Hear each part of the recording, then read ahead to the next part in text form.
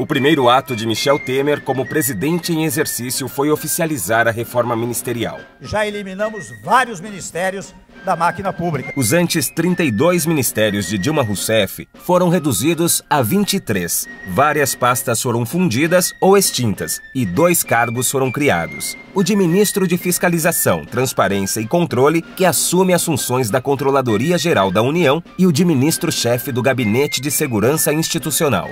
Uma das medidas mais polêmicas foi a de acabar com o Ministério da Cultura, criado em 85 por Sarney.